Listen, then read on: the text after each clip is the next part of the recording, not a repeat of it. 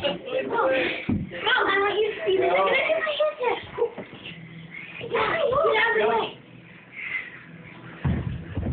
There you go. Watch this. All right, we're in overtime. I'm giving you an extra 30 seconds. Hurry. Yeah, yeah, yeah.